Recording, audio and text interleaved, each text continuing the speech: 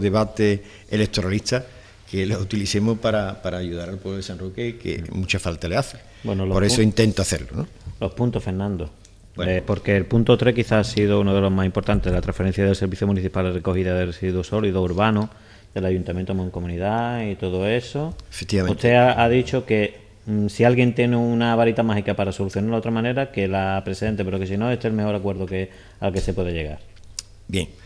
Eh, decía antes, lo he dicho en el Pleno, que nosotros el día, el día 1 de enero se nos fue una empresa de San Roque, la empresa Corsán Corbián, que hacía los servicios de recogida de basura en la zona de Guadiaro. Esta empresa se marchó porque el ayuntamiento no pagaba la deuda que tiene con la empresa. En ese momento el ayuntamiento provisionalmente asume a esos trabajadores, que eran 20, y le paga durante estos meses la nómina suplementaria de lo que ya tenía que pagar. Un esfuerzo que todo el mundo se puede imaginar que en 20, 20 nóminas más, pues un dinero que no estaba previsto y hubo, y hubo que hacerlo. Después, eh, un mes más tarde, pues sabemos que la empresa eh, SESPA asume en el mes de enero, asume eh, a la empresa Corsán y un mes más tarde dice que no puede, que tiene que dejarlo porque no tiene capacidad ya para aguantar 20 nóminas más y que se marcha el día 11 de mayo, que eh, los plazos que marcaba el contrato, se marcha y deja la recogida de basura y la limpieza de las calles, la empresa viaria de lo que es el Ayuntamiento de San Roque. Por lo tanto, estamos hablando de más de 120 personas, 120 nóminas, 120 trabajadores que a partir del 11 de mayo estaban sin solución. ¿Y ahora qué hacemos? Yo no tenía o no tenemos los 10 millones de euros que se le debe a la empresa eh, SESPA, ni los 2 millones y medio que se le debe a la empresa Corsán, ni otros 2 millones y medio que se le debe a la empresa de fomento, que supuestamente la semana que viene pues se manifestarán con razón, porque el ayuntamiento no le paga y no le va a poder pagar, sino siempre lo que sobre de la nómina es lo que se puede afrontar la deuda que se tiene. Entonces nos encontramos en la situación de que la única solución que esto podría tener o bien una empresa privada y asume esos servicios, o hacemos gestiones con Mancomunidad y que sea Argisa, la empresa mancomunada, quien asuma los servicios. Para mí estaba muy claro y está que lo más importante para San Roque y para todos los pueblos es primero pagar a los trabajadores y segundo recoger la.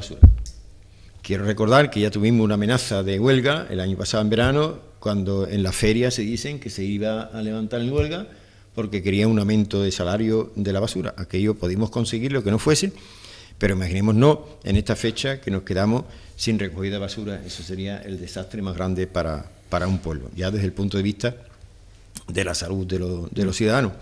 Entonces, haciendo gestiones con la, con la mancomunidad, nos unimos el Ayuntamiento de la Línea, el Ayuntamiento de San Roque, que tenemos en ese aspecto el mismo, la misma situación, y llegamos a un acuerdo con Mancomunidad para que asuma los servicios de la recogida de basura.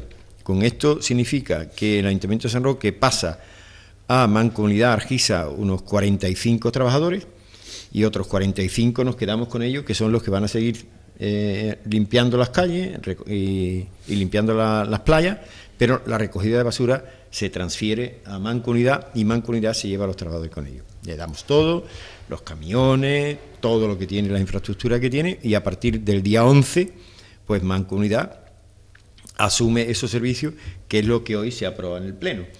Por suerte que hemos tenido mayoría suficiente para que se aprobase, de lo contrario no sé qué hubiese pasado. Y ahí sí veo que los que no han aprobado, que se han abstenido, han votado en contra, ha sido porque sabían que esto iba a salir para adelante. De lo contrario, no sé cómo podrían decirle al pueblo que están en contra de que Mancomunidad recoja la basura. ¿Quién se ha abstenido? Eh, eh, bueno, el punto ha salido adelante porque los dos grupos mayoritarios lo han sacado. el Partido Socialista y, bueno, Partido Popular, Partido Socialista. Efectivamente. Eh, lo han sacado. USR se ha abstenido. Se ha abstenido. El PA, se ha abstenido. Y, Mayoral, y Mayoral en contra. En contra. Sí. Pero bueno, pero yo creo que eso ha sido, ese ha sido el debate eh, partidista, el debate de electoralista. Ha, pasado una cosa, ha pasado una cosa que yo no esperaba. ¿eh? Es verdad que el PI, que, el PI, y USR se pongan de acuerdo en un punto una vez. O sea, que Ledesma decía, esto es increíble y que no sirva de precedente, pero lo cierto es que se han puesto de acuerdo en un punto, a mí me ha parecido increíble, ¿no? Conociendo la que no se llevan. Bueno, lo importante, que lo importante es que este, este punto ha salido para adelante, se ha aprobado y ahora se, se, ratifica el próximo lunes que habrá un pleno en Mancomunidad donde Mancomunidad aprobará también, evidentemente, de que eh, sea la empresa Argisa quien asuma los servicios de San Roque, como ya lo ha asumido en la línea antes que San Roque, porque tenía el problema más agudo que nosotros. Es un tema importantísimo, creo el más importante de hoy del Pleno. Después ha habido otros temas importantes también, no menos, que ha sido de adjudicar definitivamente ya la, gestión de los servicios de grúa de San Roque y hacer el centro CAT, que también se aprueba hoy. Después también hemos tenido algo importante, que son la aprobación de la adjudicación de kioscos, uno en la estación de San Roque y otro aquí eh, en San Roque Casco, para que dos familias pues, puedan en un futuro vivir también mediante estos kioscos que estaban mm, vacantes. Y otro que ha surgido un debate amplio, amplio, amplio, que no era tampoco motivo para ello, que ella proponer, proponer desde la alcaldía de que se inicie el expediente para llevar a cabo el acuerdo del agua con mancomunidad del municipio. Es iniciar expediente, todavía aquí no hay fórmulas, ni hay contenido, ni nada. Es solo que el Pleno diga empezar a discutir qué hacemos con el agua, si se la damos y cómo se la damos o cómo se queda en Agisa, no en Agisa, y eso ha sido el debate del día, cosa que no era necesario hoy. Ya se debatirá cuando el expediente esté encima de la mesa, se conozcan las condiciones en que se quiere dar o no se quiere dar, y entonces hubiese sido el momento, pero aquí se han adelantado y aquí sí creo que se ha utilizado en un debate partidista y electoralista para decir, pues yo estoy de acuerdo, yo no estoy de acuerdo, yo quiero dar más, yo quiero dar menos, sale un problema que tenemos con los vecinos en Miraflores, que es verdad, que tenemos un problema con los vecinos en Miraflores, que hay que solucionarlo, pero que las cosas no se pueden hacer gratis. Es que aquí nadie hace nada gratis. Pero yo estoy, yo estoy de acuerdo. Yo he escuchado, entre ellos usted, bueno, más compañeros eh, de la corporación, han dicho que el tema de, Miraflores. Porque, claro, mm, históricamente el ayuntamiento de una manera o de otra, asuntos sociales de una manera u otra, va solucionando porque el problema es que hay, hay un contador, digamos, genérico para todos los vecinos. Hay quien no pague y mancomunidad, eh, mancomunidad, en este caso, corta el servicio.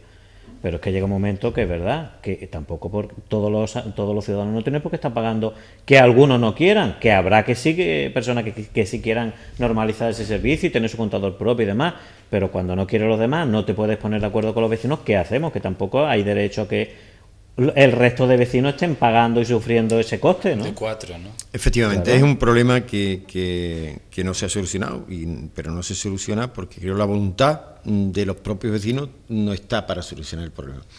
Todos conocemos la, la barriada de, Miraflores, en Miraflores hay ahí unos, unas torretas, que son, allí hay pues 40, 50 familias en uno de los edificios, y hay dos edificios que tienen un contador central de donde se, suministran todos los vecinos de ese contador.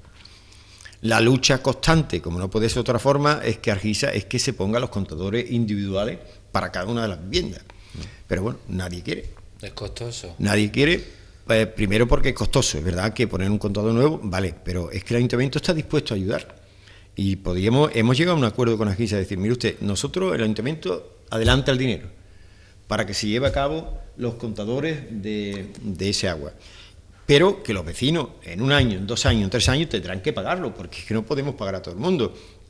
Es que crearíamos un precedente que cualquiera podría venir al ayuntamiento y decir, pues yo tampoco quiero pagar agua.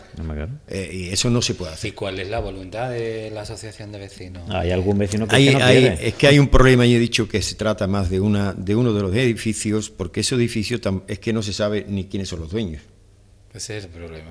Eh, entonces no es competencia del ayuntamiento porque esos edificios no son municipales, ni tenemos